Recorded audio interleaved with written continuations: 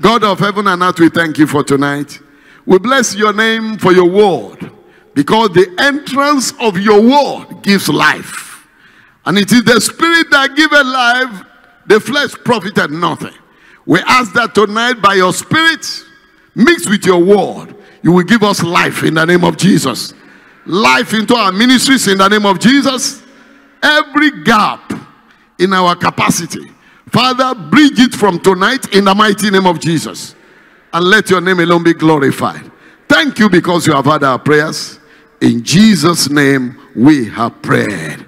Oh, put your hands together for the Lord as you take your seat majestically. Sit majestically.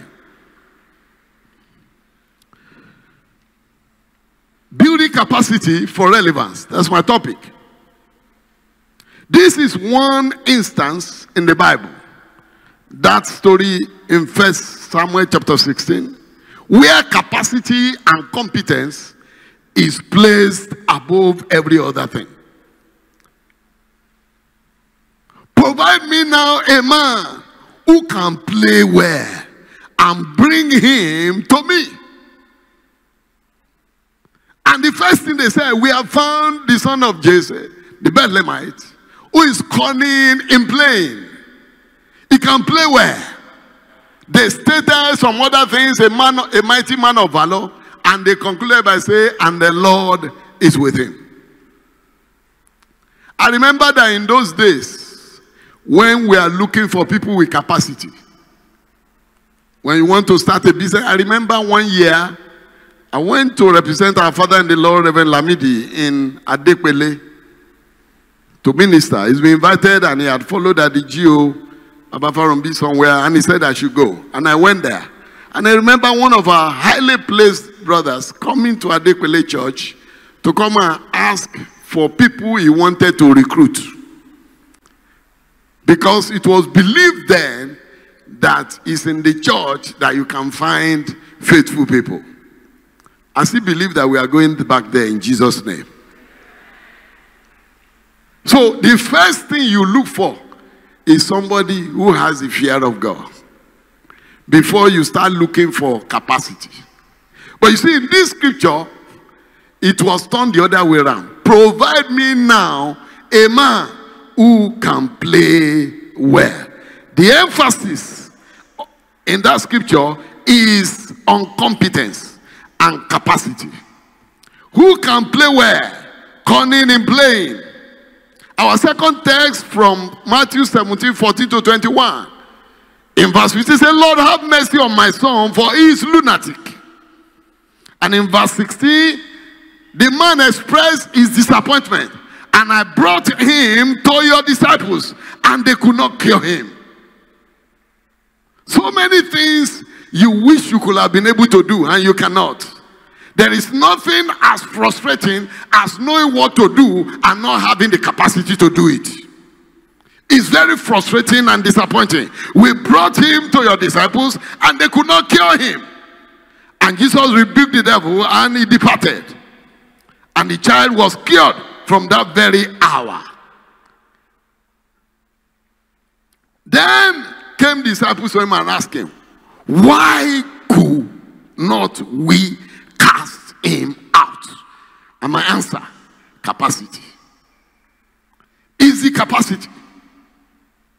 Verse 28 And Jesus said unto them, Because of your unbelief, number one, that they needed to preach. Secondly, 21 This kind does not go out but by prayer and fasting. All boiled down to capacity problem.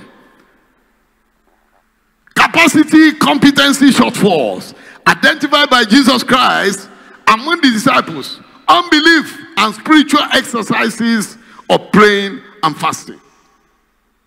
A lot of people want to do what Jesus did, but they don't want to pay the price that was paid. They see great men of God, great servants of God demonstrate some level superior power, some level of anointing, some level of grace, and they covet it. Like the teacher said, we should covet earnestly the best gifts. But over and over again, they have found out that they are not meeting up. The answer is just capacity. In Proverbs chapter 24, verse 10, the Bible says, If you faint in the day of adversity, your strength is small.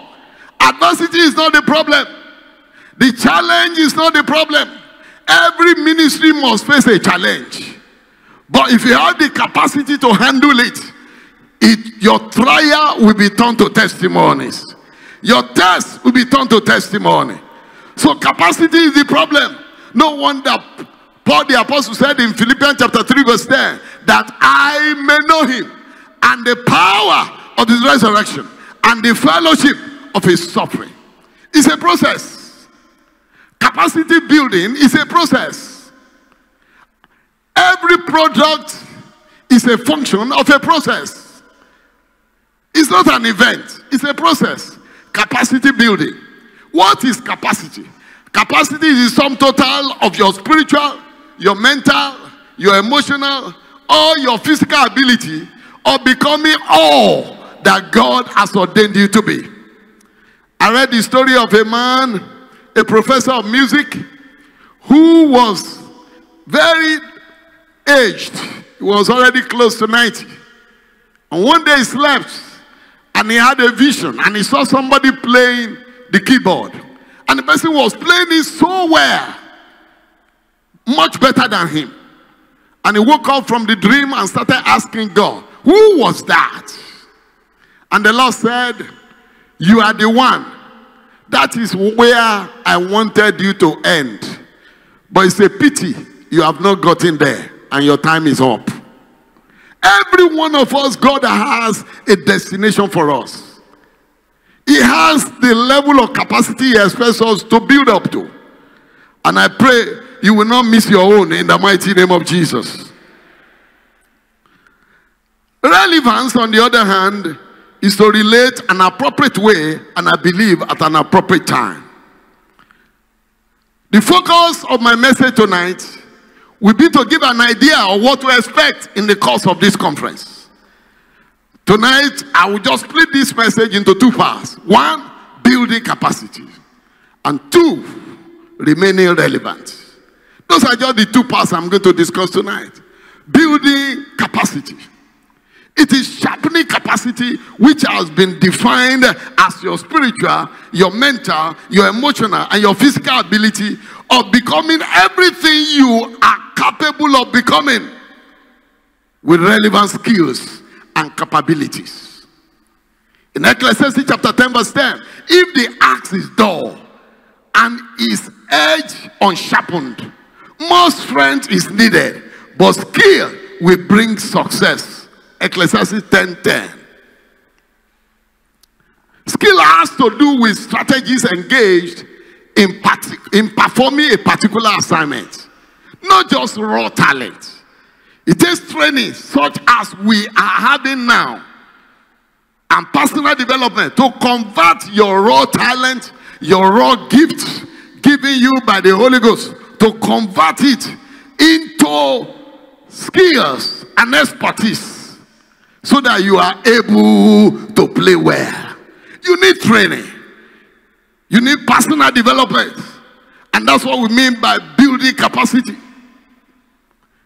It takes training such as we have now. I've told this story before. The Zambian national team in 1993 lost the entire team to plane crash, except one man who flew to where they were going to play. I think it was Senegal. All the entire team perished, and they had a tournament early 1994, the African Cup of Nations. When the money period was over, after money, the entire team, including reserve bench, everybody perished. When the entire money period was over, the nation took a decision that to honor this man, we must win the African Cup of Nations. Then you ask me, how do they intend to win it when they have lost their entire team? What they did, they came and took Justin Fashanu of Nigeria as a coach. And they went into the nooks and crannies of Zambia, recruiting boys who are playing ball with their foot, recruiting raw talents Those who used to play in Onola, I don't know how many of you know Onola in Lagos, where they would dribble and dribble and dribble and dribble. They would dribble, and when they get to the goalpost, they will go back again and go and be dribbling again. Say, You are supposed to score. But because they are village boys, they don't know the importance of goals. They just want to dribble, enjoying themselves. So they put this team together, and for your information, this ragtag team, you will call them. They are not professionals, they are not experts. They just had good training and exposure to skills. This team not only played in the quarterfinal and won, they played in the semi-final and won, and Nigeria did like this before they beat them 2-1 in the final with all our professionals.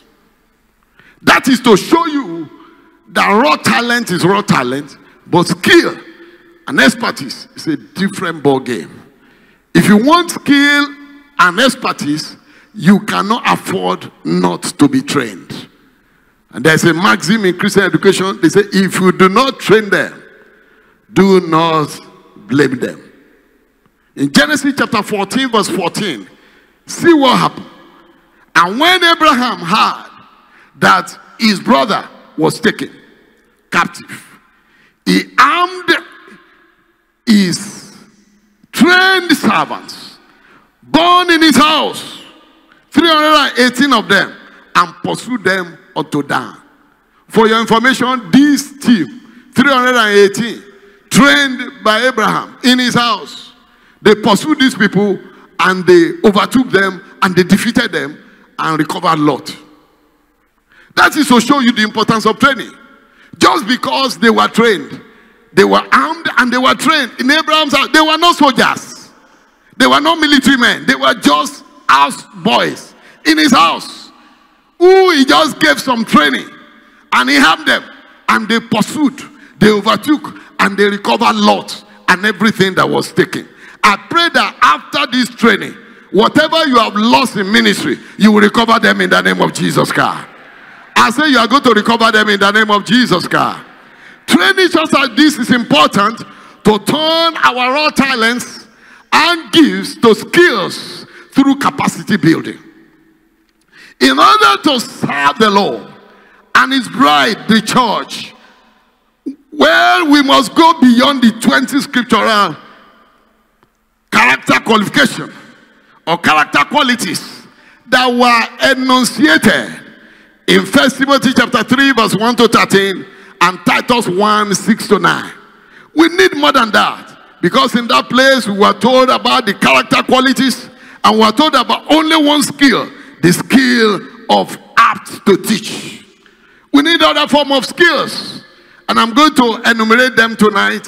And I believe in the course of this training, other people will come and dwell heavily on them. Number one, for you to be a good minister of the gospel and a good leader in this age and time, you need personal, personal management skill.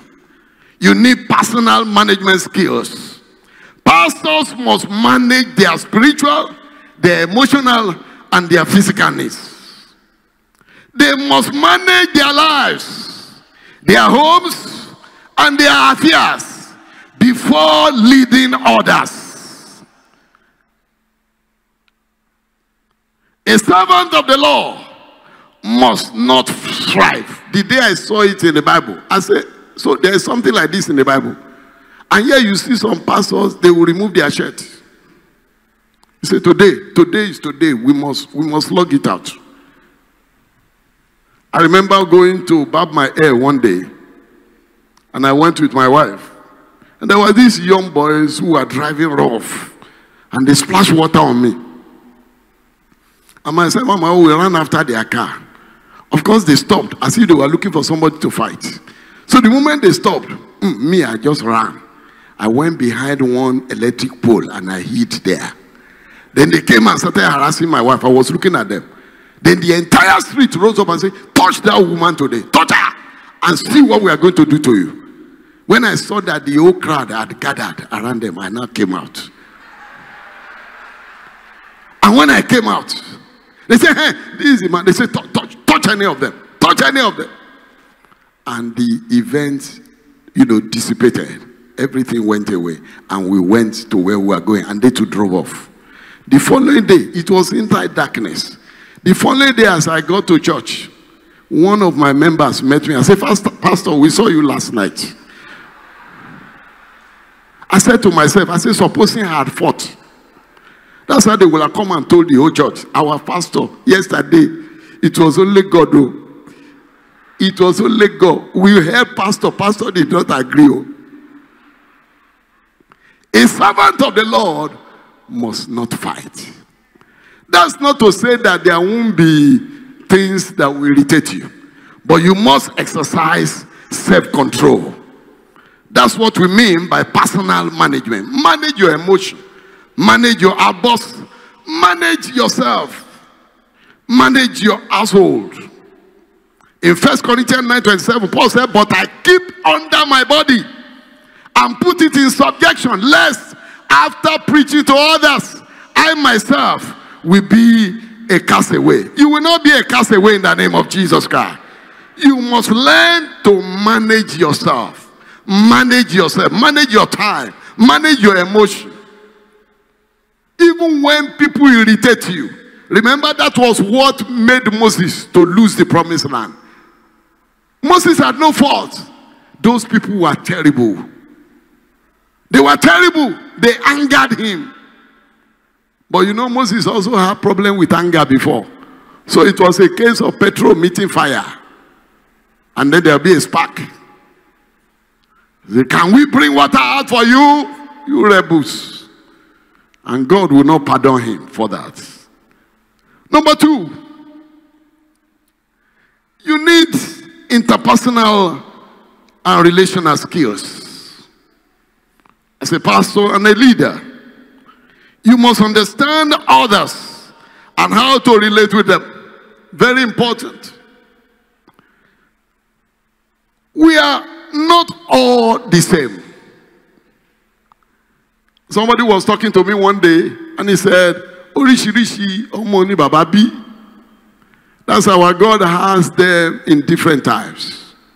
So you as a leader, you are expected to know how to relate with people. Indeed, it's been found out that technical skills and knowledge, like your Bible knowledge and stuff, is only 15% of job performance. 85% has to do with how you relate with people. In First King chapter 12, verse 7, my favorite verse of scripture. And they spoke to him, saying, If you will be a servant to these people today, and will serve them, and speak good words to them, you will answer them and speak good words to them, then they will be your servant. How long? How long will they be your servant? But you must first of all serve them today.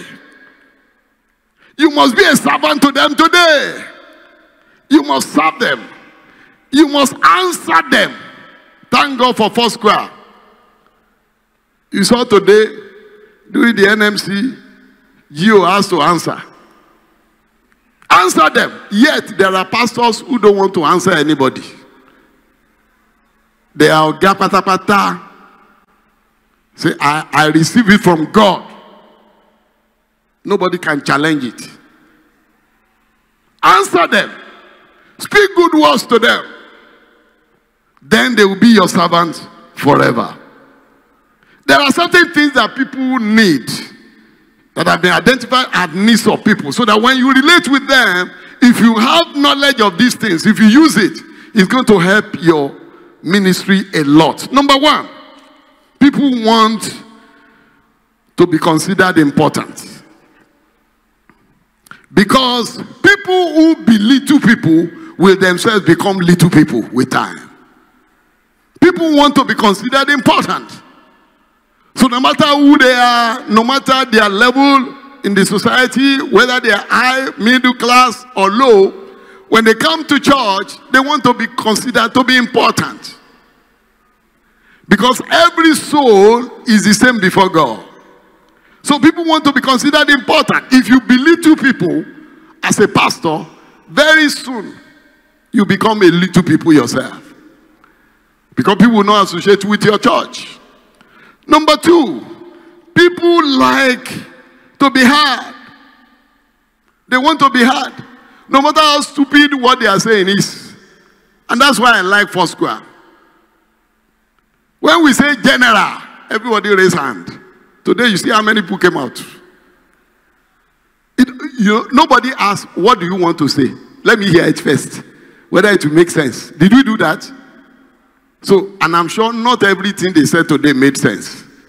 But they had opportunity to express themselves. Help, help me clap for Foursquare.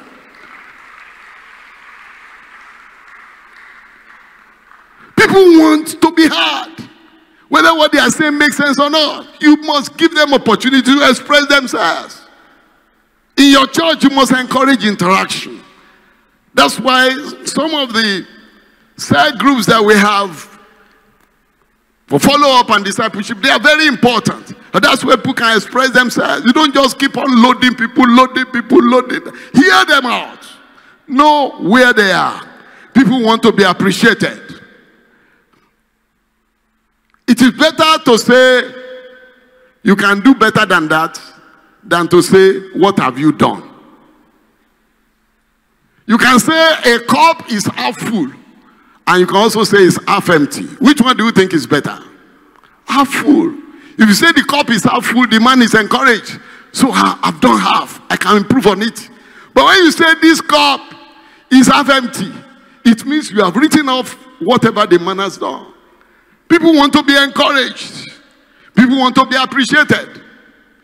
Some people will ask, when you tell them to appreciate people in the church, they say, So who will appreciate me now? Eh? All of us are working for God. But you are a leader. You are a leader. You need to appreciate your people. You need to encourage them. People want to be encouraged. People want to be empathized with. If they're in difficult situation, you need to empathize with them. So, as a pastor, as a ministry head, you must have interpersonal and relational skills with the people that you deal with in your church or in your department. Number three, you need to have motivational or vision casting skills. This is very important. Even God had to engage Abraham along this line. Genesis chapter 13, verse 14 to 15. God brought Abraham out and he tried to cast a vision before Abraham. He said, Abraham, look now from the place where you are. Look northward, look southward, look eastward, look westward. For as long as your eyes can see, I have given to you. That's vision. God was trying to cast a vision for Abraham to catch. And thank God Abraham caught the vision. It is your responsibility as a leader to cast the vision before your people. So I'm sure in the course of this conference, you'll be taught how to cast vision. Because for all you know, people don't follow a leader, people follow vision. It's not a leader they follow per se, they follow vision. So if you have no vision, like the Bible says, where there is no vision, the people perish. And just like where there is no vision, the people perish. Where there are no people, the vision also perish. So you must learn how to cast vision so that people can follow the vision and therefore follow you, who is the one that casted the vision. Number four, you need team building skills. As a pastor, as a leader of a team, you need team building skills. I came across a young man, one of the sons of my leaders, and he went outside this country to go and read in one of the North American countries. And I went to that country on holiday and I saw him. And I said, the parents asked me to see him. And I asked him, I said, how well are you doing? He said, Pastor, be thanking God for me. Oh. I said, why? He said, they gave us a team building assignment to do. He said, and because I'm not using, I'm not used to working with teams. I'm a lone ranger. I like working alone. He said, so in the team, I was the only one giving them problem. Anything anybody does, I must criticize the person. To the extent that I started fighting everybody in the team. And they reported me to the authorities, and the authorities said, Last warning, if you do that again, we'll deport you. He said he didn't know it's as serious as that. That the essence of that project is to make you to work together in a team, to learn how to work together in a team. Jesus, the master himself, chose 12 disciples. Why do you think he chose 12 disciples? It's because the gospel must be done, must be preached by a team. Even when he was sending them out, he sent them two by two, true of us. Two by two. So in the church, the spirit of only me, only me, only me is not in line with ministry. You must learn to walk with people. And for you to have a successful ministry, listen to me. If you have a church you're pastoring, there are these teams that are very essential. You must have prayer support teams because church growth is 60% prayer and 40% method. You must have worship service teams. You must have evangelism and outreach follow up teams. You must have Christian education teams. Did you see me talk about only one person doing this job? No.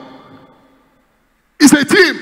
And that's where you can get the best result. But you must learn team building skills. How people can work together in a team. And you should be an example.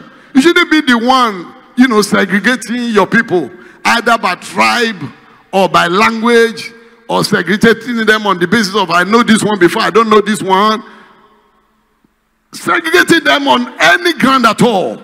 You must be the one that will bring them together. That's why when they were going to anoint David for the for the third time, the people said, the Bible said, then all Israel came together to make David a king. And when they were going to confess, they said, It is you that we know. Because even when Saul was king, you were the one relating with us. You were the one bringing us together. So it is time to make you a king. A leader must be a rallying point not a divisive point. A leader must rally people together so that there can be team building. A leader shouldn't be a divisive point that these ones are my friend, these ones are not my friend. As a leader, everybody in your team should be your friend. True of us. I say true of us. I'm spoiling some people's theology tonight. Because anywhere they go, they say, I want Ngbati, Ngbati, this Ngbati, Ngbati people. Or this Yomiri, what do you have to do with Yomiri? There's no, no such things in the church of God. Christ died for all. There's only one church. And the first revival in Acts of the Apostle, it was tribalism and divisiveness that would have truncated that revival. So the church had to rise to checkmate it. Because Psalm 133 from verse 1 to 3 say, How good and how pleasant is it for brethren to dwell together in unity. And say, For there the Lord commanded blessing, even life evermore. The Holy Ghost would not have come if the church was not united. The Bible says, and they all came together in one place. And suddenly there was a rushing mighty wind because they were united. I pray that the unity that will bring the end time revival, we will have it in the church in the name of Jesus Christ. So, team building, so important. You must have team building skills. And then, number five, you must have theological skills. I've said it again and again particularly in this part, our part, part, it's only pastors that do not require training. Even drivers. For you to hire somebody as a driver, FRSC, they will ask for driving license. But today you see so many people, they open shop. Once there's a bell and there's a keyboard, pastor has come. And this year is pastor. By the time you meet him next year, maybe he starts with 10 people. The moment they become 30, it's an apostle. And next year is senior apostle. And by the time you see him in three years' time, as an archbishop. Meanwhile, the whole congregation, they are not up to 50 yet. You need to be trained. Don't behave like me. When I came into Foursquare, I used to have opportunity to minister in the church. And people used to get blessed. Because I was under the church as a youth corper at the age of about 23, 24. So I thought I don't need any form of training. So when I come and I minister, people are blessed. So one day, Baboyejo, one of our family fathers, called me to the office. And he said, Sam, you are doing very well. But you need to go to life. I told daddy, I said, life, what will I learn in life? I think I've known everything. And he laughed. I didn't know he kept it in his heart. When the register of life was rostered to our church on exchange of pulpit, Papa called me to the office and said, Meet the registrar of Life Theological Seminary. He said, Registrar, please, this my son is very competent. Very competent as a pastor. Can you please issue him a life certificate to satisfy him that he's already licensed? And when he look at daddy and say, Baba, that's not how you trained us. Oh. You didn't ask us to be easy certificate when they have not come to school. And on that day, what Baba did was to send Reverend Lawani to buy a form and, and send to me. So it was Baba Boyejo that bought me the form that I used to go to life. And when the old man had bought me a form, I don't have a choice but to go. If an old man buy you form and you don't go, now you sabi. Many, many years later, when I was sent to Warri to go and pastor the church, while they were sending my CV around, and they sent it to the council in uh, Benin district, the first question many of them were asking is, does he have a life qualification? And somebody said yes. Another person answered, where does he have time to go to life with his job? and they were calling around. Even I understand up to the time I was being selected for GO position, some people were still arguing that I didn't go to life. For your information to now hear it from the horse's mouth, I went to life. And I'm a graduate of life. Today is even a lot easier because we had during the NMC that Life Theological Seminary is going online by September this year. So for those who are busy, for those who are busy, you can take advantage of it. Even though before now we have had the executive program, which very busy corporate executives have been availing themselves of. But the bottom line is that you need to be trained. You need to go for training.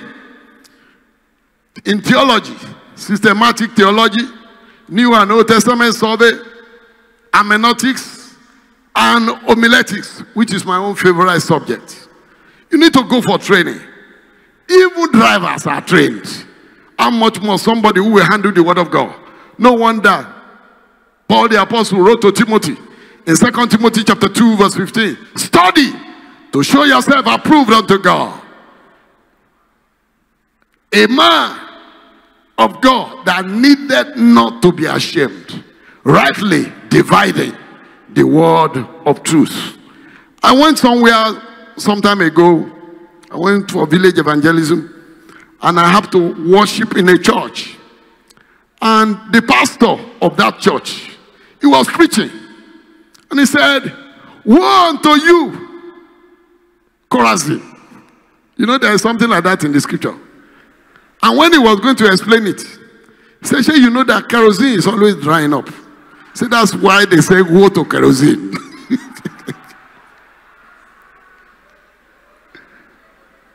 there are so many people who are committed theological blunder because they are not trained. But the opportunity is there now to be trained so that you can be a better pastor and you can be a better leader. Number six, ministry skills. The foundation for all other skills is preaching the gospel.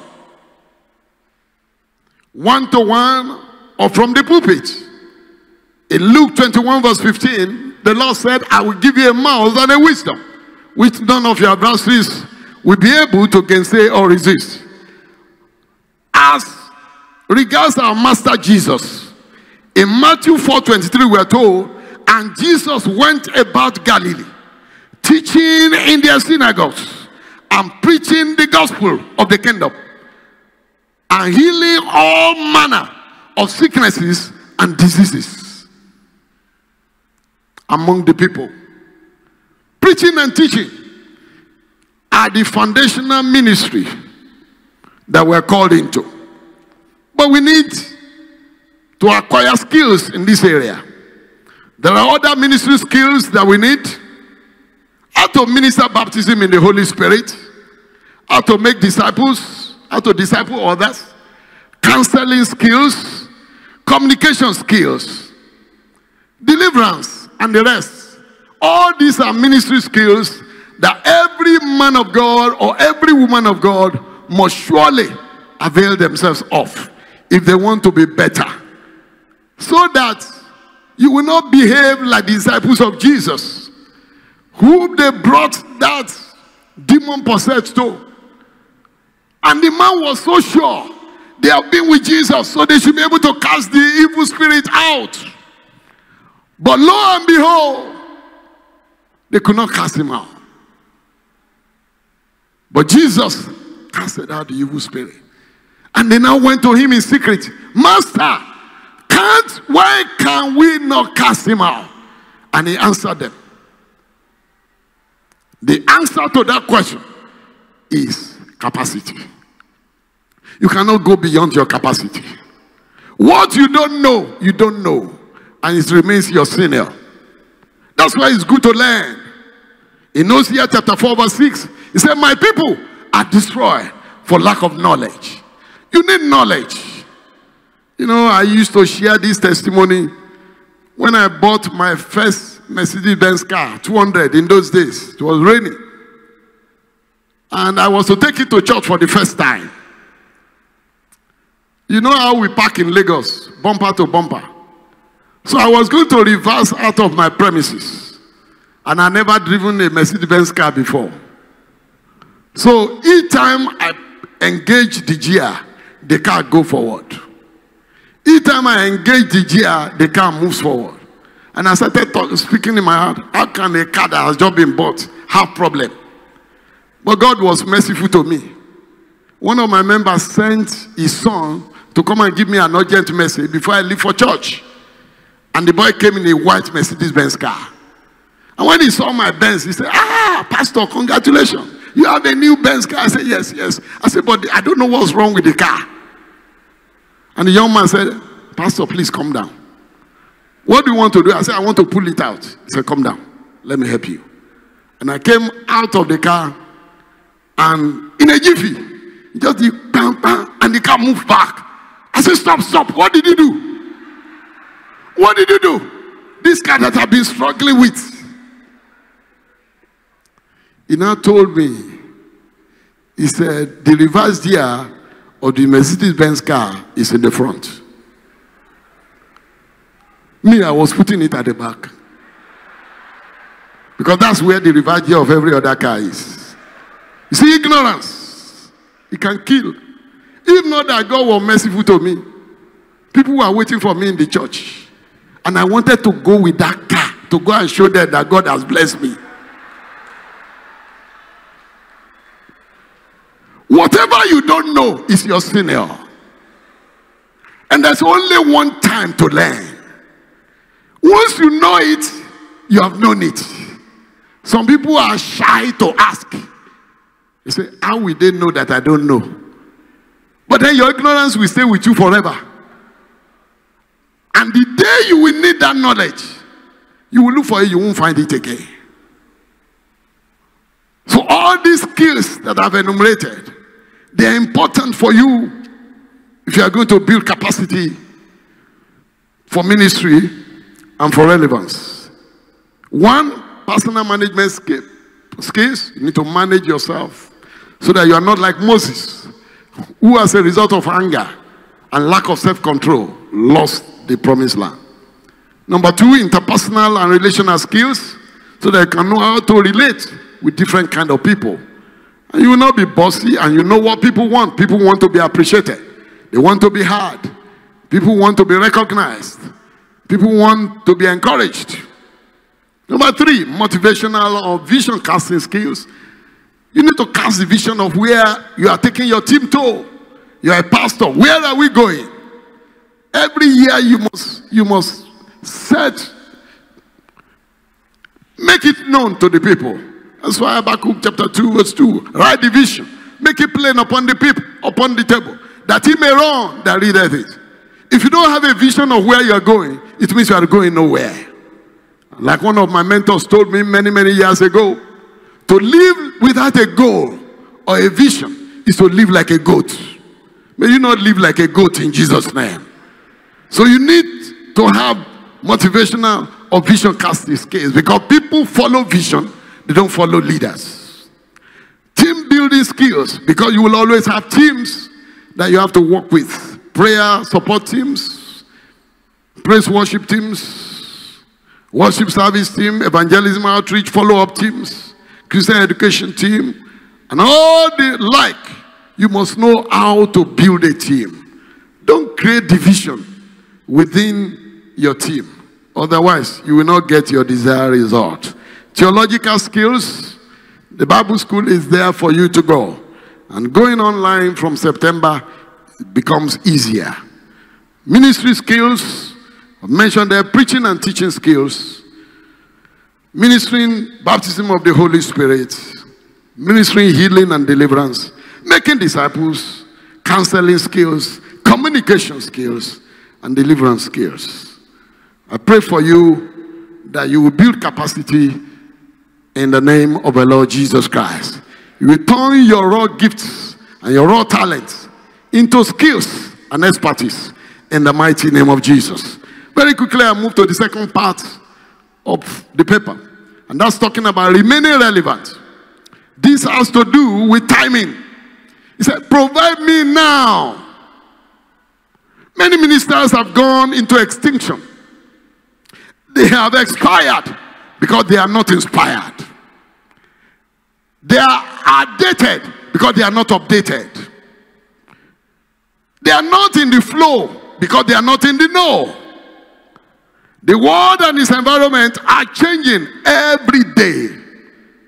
We're told that the changes expected in the world in the next five years, five to ten years, will be more than the changes we have seen in the last 100 years. There are fresh challenges and new approaches to life, business, and ministry. And those who cannot cope or cannot keep pace with the changes become irrelevant. But you will not become irrelevant in Jesus' name.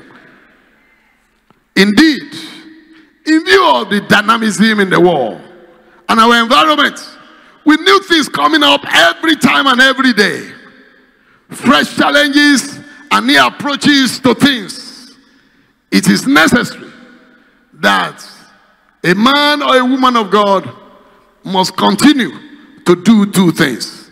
But before I tell you about those two things you must continue to do to remain relevant, I'd like to share the story of the Swiss watchmakers with you.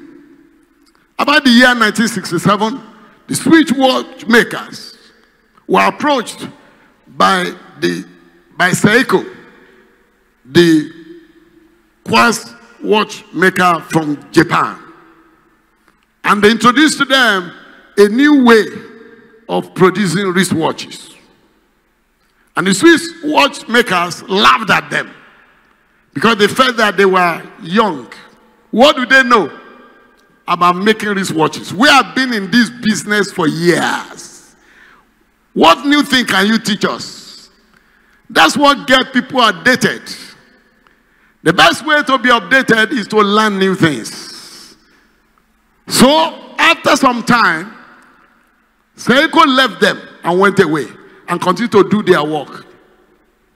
In less than 10 years, Seiko are taking over the wristwatch market completely. And the Swiss watchmakers were thrown into oblivion. That's what happened for somebody who refused to update. So we have been doing this thing for years. When did they start? They cannot meet us. If you don't update, they will not only meet you, they will surpass you. But that will not be your portion in the name of Jesus Christ. So, for you to remain relevant, two things you must do. Number one, you must remain within purpose. For everyone he called, he gave a purpose. You must remain within your purpose. There's a God ordained purpose for you. Keep it up. Keep to it. Are you called to be a children pastor? Are you called to be a Christian education minister? Are you called to be a music minister? Are you called to be an intercessor? What is the calling of God upon your life? Keep to it. Keep to it. It is better to be the best and the only original than to be the photocopy of somebody else. It is better to be unique in your ministry. Keep to it. What has He called you to do? For everyone He called, they kept to their purpose. Even Jesus, the Son of God, First John 3 8b. For this purpose was the Son of God manifested, that he might destroy the works of the devil. What has he called you to do? That's the first question you need to answer. And if you must remain relevant, you must remain within that purpose. What is the purpose of your calling? Concerning Jesus, Acts 10 38. Our God anointed Jesus Christ of Nazareth with the Holy Ghost and with power, and went about doing good, healing all that were oppressed of the devil, for God was with him. He remained within his call, he remained within purpose. You know, I was sharing a story with our inducted pastors. How one of my sons in the Lord, he was called to be a children pastor, and he kept to his ministry. Well, after some time, because of some challenges of life, we God has taken him over by now. They have all become testimonies. His parents brought him to my office, and they said, "In this your church, don't you promote people? This man has been pastoring children for these years. Is it not time to promote him to pastor adults? And I began to laugh. They said, No, no, no, no, no, no. By now, he should have been promoted to be pastoring adults. So we want to appeal to you. When you are doing the next promotion, promote him to adult church to be pastoring adults. He has pastored children enough. There are people that have been called to be teachers, but they want to be evangelists. There are people who are called to be evangelists, they want to be teachers. There are people who are called to pastor, they want to switch roles. What has He called you to do? Remain within your purpose. Everyone He called, He gave a purpose. Be unique and pursue your uniqueness. Everyone He called, He gave a purpose. Moses was to deliver Israel. Joshua was given a different purpose. He was to divide the land. Everyone he called, he gave a purpose. Even Paul was sent to kings and to Gentiles. In Acts 9:15, what is your purpose? What is your unique calling? Don't be a photocopy, be an original.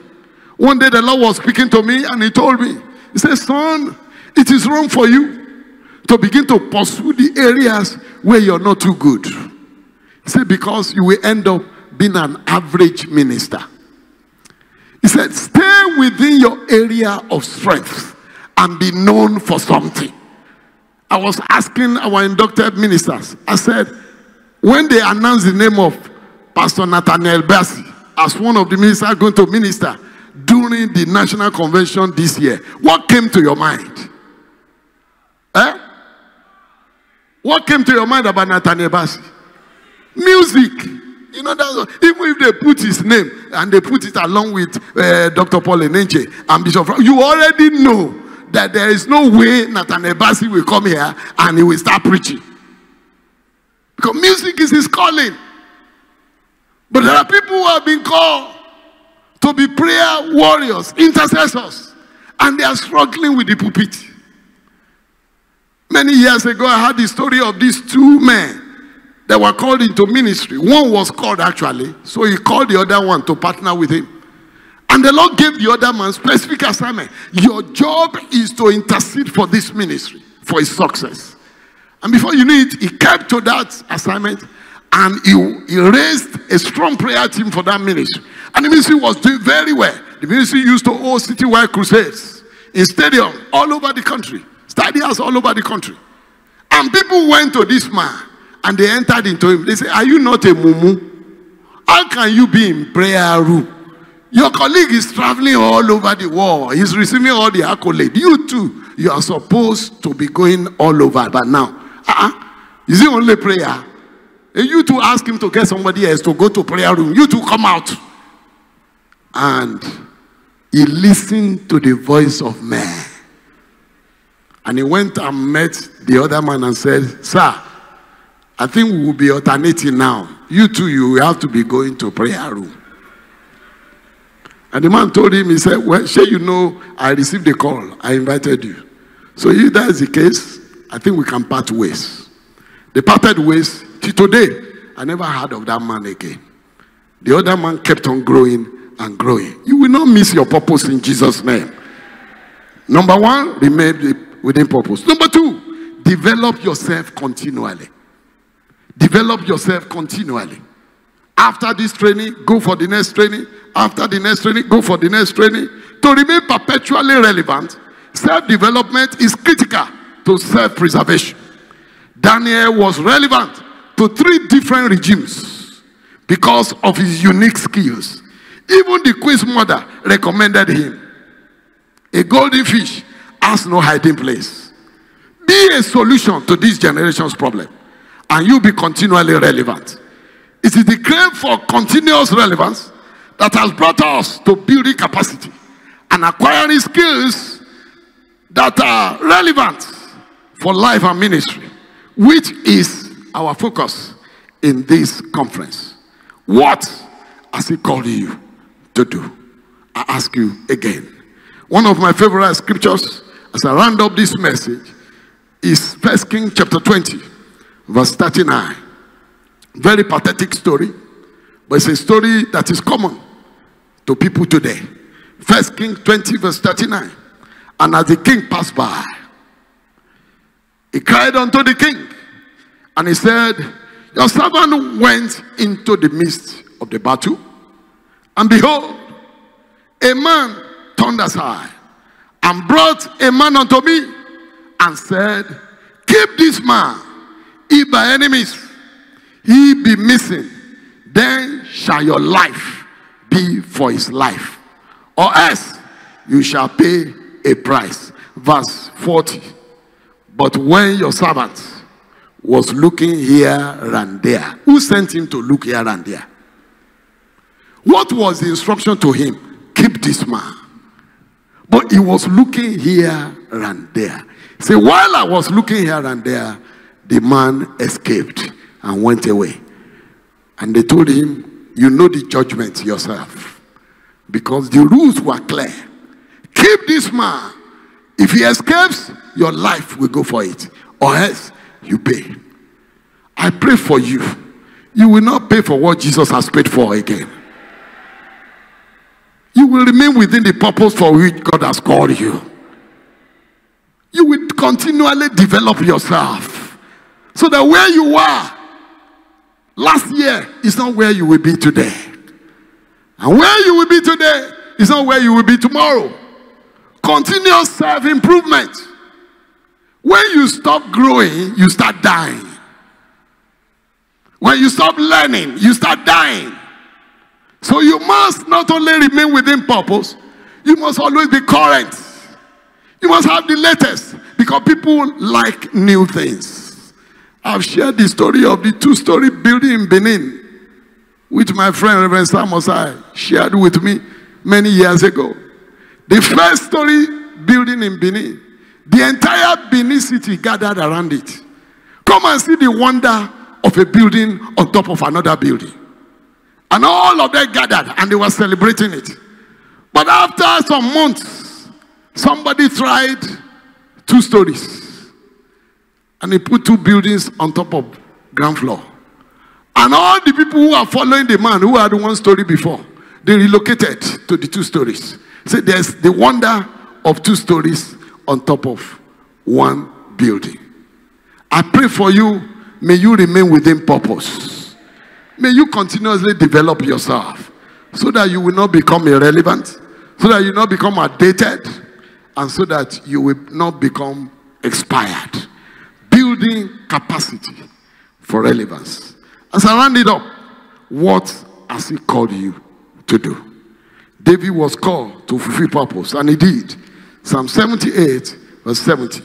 He chose David also, his servant, and took him from the sheepfold to feed Jacob, his people, and Israel, his inheritance. And he did it with the integrity of his heart and with the skillfulness of his hand.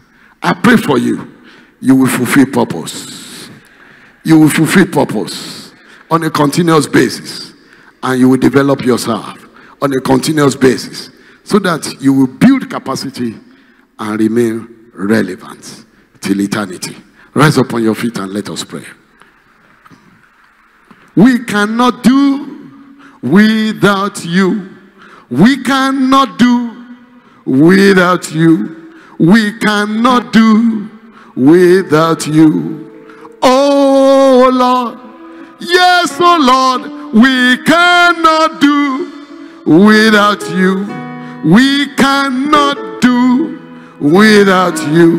We cannot do without you. Oh Lord, do something new, do something in our lives. Something new in our lives. Do something new in our lives. Oh Lord. Yes, oh Lord, do something new in our lives. Oh, something new in our lives. Do something new in our lives. I want you to open your mouth and pray for yourself and say, Oh Lord, oh Lord, I will not miss your purpose for my life. I will not miss your purpose for my life. Open your mouth and pray for yourself. I won't miss your purpose for my ministry. I will not miss your purpose for my life. I will remain within purpose. In the name of Jesus Christ, I shall remain within purpose. I will not miss your purpose. I will not miss your purpose in the name of Jesus. I shall remain within purpose in the mighty name of Jesus. I shall remain within purpose. I will not miss your purpose in the mighty name of Jesus. I shall not miss your purpose in the name of Jesus. Thank you, Father. Blessed be your name. For in Jesus' name we have prayed. I want to pray for some people tonight. You are there. You cannot even answer that question. What is your purpose in ministry? You cannot answer it. You can't answer it. And that's the starting point. Because if purpose is not known, abuse is inevitable. What's your purpose in ministry? What has He called you to do? You must clear it. What has He called you to do so that you can know in what area you have to continue to build capacity develop yourself? If you are there tonight and you believe that before you leave this camp this week, God will show you clearly the purpose for which He has called you. I want to pray for you. Anywhere you are, I want you to rush to the altar. Just rush to the altar and say, Between now and the end of this program on Friday, I want to receive clearly what He has called me to do, not what they force you to be doing, not what you saw your brother do or your friend do, and you join them in doing. And since then, you've been roaming about. You don't have a clear plan. You don't have, you don't, you don't, you don't, you have not discovered who He has called you to be. What has He called you to do? Please come, come, come quickly because my time is, is running out. If you're going to join them, please join them, join them, join them. And as you reach the altar, begin to pray for yourself. Ask God to reveal to you who he has made you from the foundation of the world. Joseph was given a dream that came to pass 17 years after or 13 years after. But God revealed to him, He said, I will stand upon my watch and wait to see what he will say to me. And he said, Write the vision, make it plain upon the table, that he may run that readeth it. He said, For the vision is for an appointed time. What has he called you to do? What has he called you to do? That may be the reason for your inefficiency. That may be the reason for your lack of capacity. Because you don't even know the direction in which you should build capacity. What has he called you to do? Begin to ask God. Say, Father, before I leave this camp on Saturday, you must reveal to me clearly what you have called me to do. When he called Moses, he told him in clear terms. Exodus chapter 3, verse 12. You will worship me on this mountain after you have brought out the people. When he called Joshua, he said, Joshua, you will take the people to cross Jordan and you are going to divide the land for all the people. That's the only way to go. If you're not clear, how can you know which way to go? Talk to the Lord. Talk to the Lord. If He has called you into a purpose, He will equip you for that purpose. If He has called you to an assignment, He will equip you for that assignment. Are you called to be an evangelist? Are you called to be a pastor? Are you called into the intercessory ministry? Are you called into the children ministry? What has He called you to do? What has He called you to do?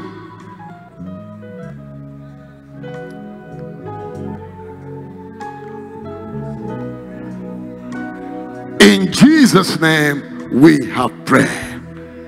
I want you to lift your two hands to heaven. Father, in the name of the Lord Jesus Christ, thank you for this, your people. You are a God of purpose. You created them for a purpose as instruments in your hand and as builders together with you in your house. I ask tonight that between now and the time they will leave this camp, Make it clear to them the purpose for which you have called them. In the name of the Lord Jesus Christ. Good. There's a general calling for everybody. But there's a specific call, there's a specific purpose. I pray for you before you leave this camp, it will be clear to you in the name of the Lord Jesus. I pray for everyone under the sound of my voice. May you remain within purpose in the name of Jesus. May you develop yourself continually in the name of Jesus. You will not fail in the name of Jesus. You will not falter in the name of Jesus. You grow from strength to strength. You grow from glory to glory. In the name of the Lord Jesus Christ. Thank you, Father, because you have had our prayers. For in Jesus' name we have prayed. Put your hands together for the Lord. Follow, follow evangelist so that he can he can counsel you and um, take some information from you down. Put your hands together for the Lord Jesus Christ. Amen. Glory to God.